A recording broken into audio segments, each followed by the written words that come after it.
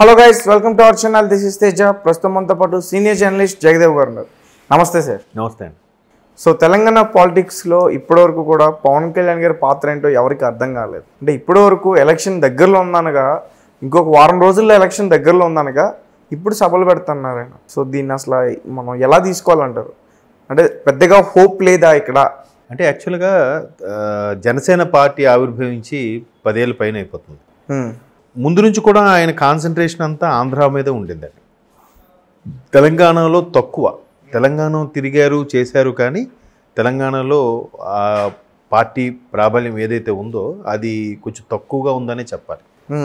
ఎందుకంటే ఇప్పుడు అక్కడ ఆంధ్రాలో ఉండే సమీకరణాలు మీరు గమనించే ఉంటారు.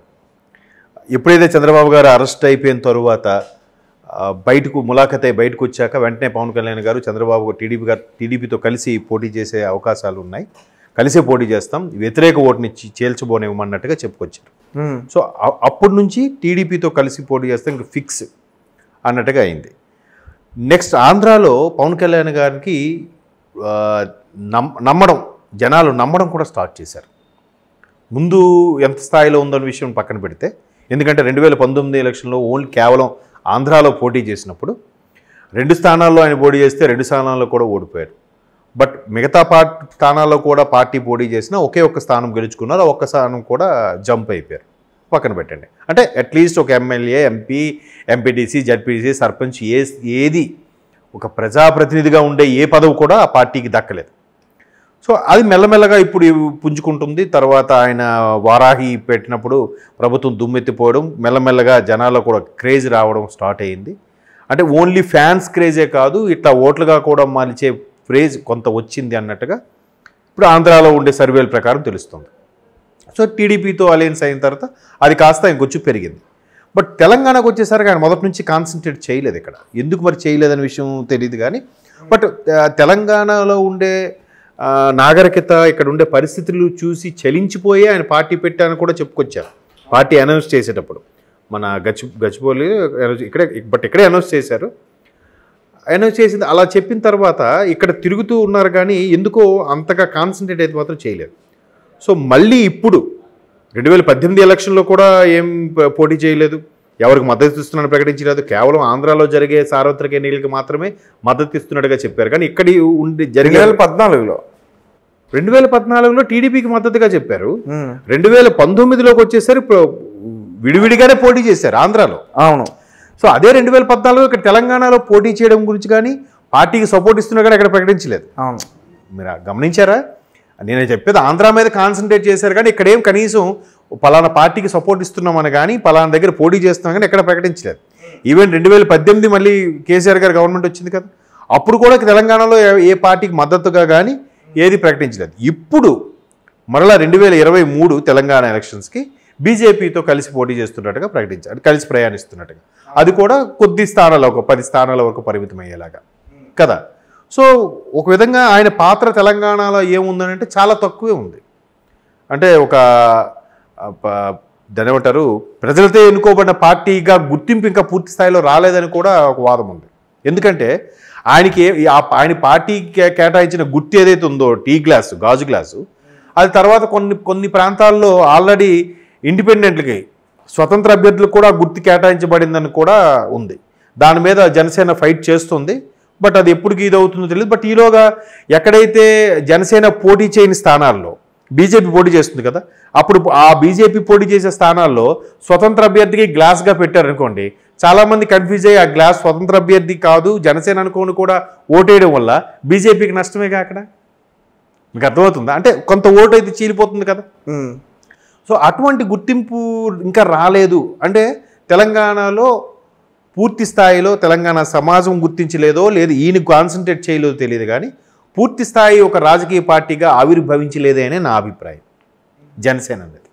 బట్ పార్టీలో ఉన్న కార్యకర్తలుగా కానీ పార్టీని అభిమానించే వ్యక్తులు కానీ లేదా ఆయనకు హీరోగా ఉన్నప్పుడు ఫ్యాన్స్ అసోసియేషన్ ప్రెసిడెంట్స్ కానీ ఎవరైతే ఉన్నారో వాళ్ళలోనే కొంతమంది ముందుకొచ్చి నడిపిస్తున్నారే కానీ స్వతంత్రంగా ఇప్పుడు టీడీపీకి కానీ బీఆర్ఎస్కి కానీ బీజేపీకి కానీ కాంగ్రెస్కి కానీ ఇదిలాగా ఒక రాజకీయ పార్టీకి సమీకరించే కార్యకర్తలలాగా మాత్రం జనసేన ఇక్కడ లేరనే చెప్పాలి. ఓకే. ఇక్కడ కంపేర్ టు ఆంధ్ర. సో అటువంటి దాంట్లో ఇప్పుడు ఆయన ఇప్పుడు బీజేపీతో కలిసి వెళ్తున్నాడు కాబట్టి ఆయన పాత్ర ఏంటనేది అంత ఎక్కువగా ఉండదు. అంటే వందలో ఒక పది పా- పది పాలు ఇప్పుడు పది స్థానాలంటే వందకు పది శాతమే కంట్రిబ్యూట్ చేసినట్టు. అంతే కదా. సో ఆయన పాత్ర కూడా అంతే ఉంటుంది ఇంకా. ఇప్పుడు ఇప్పుడు ఎప్పుడైతే మోడీ గారి సభ అయిందో మన బీసీ బహిరంగ సభ అయి ఆ రోజు స్టేజ్ మీద కనిపించారు బీజేపీతో పాటు. ఆ తర్వాత మళ్ళీ కనబడలేదు. మళ్ళీ టూ డేస్ నుంచి బీజేపీ జనసేన కలిసి ఎక్కడెక్కడ పోటీ చేస్తున్నాయి ఆ మెయిన్ మెయిన్ జనసేన ప్రత్యర్థుల స్థానాలు అభ్యర్థుల స్థానాలు ఏవైతే ఉన్నాయో అక్కడికి వెళ్ళి స్పీచ్ ఇవ్వడం మళ్ళీ క్యాన్వాసింగ్ చేయడం స్టార్ట్ చేశారు. అవును. సో అంత ప్రభావితం చేయలేకపోతున్నారని నా వాదన. చెప్పాను కదా అంటే ఒక జనరల్గా రాజకీయ పార్టీకి ఉండాల్సిన కార్యకర్తలు జనరల్గా కా రాజకీయ పార్టీకి ఉండాల్సిన ఫేవర్గా ఉండే గ్రౌండ్ లెవెల్ క్యాడర్ ఏదైతే ఉంటుందో శ్రేణులు అవి లేరని నా అభిప్రాయం. మేబీ మెల్లమెల్లగా పుంజుకునే అవకాశం ఉంది. బట్ ఆంధ్రాలో పుంజుకున్నంతగా ఇక్కడ లేదు. ఓకే. ఆంధ్రాలో అయితే బాగానే ఉంది. జనసేనకి ఆ ఫేవరిజం రైట్ ఓ సరే ఇక్కడ ఎంతవరకు ఉన్నా కానీ అంటే నార్మల్గా బీజేపీ పొత్తులతో ఉన్నారు ఇక్కడ. అవును. తెలంగాణలో. సో అయినా మరి ప్రత్యర్థుల గురించి కూడా మాట్లాడాల్సిన అవకాశం ఉంటుంది.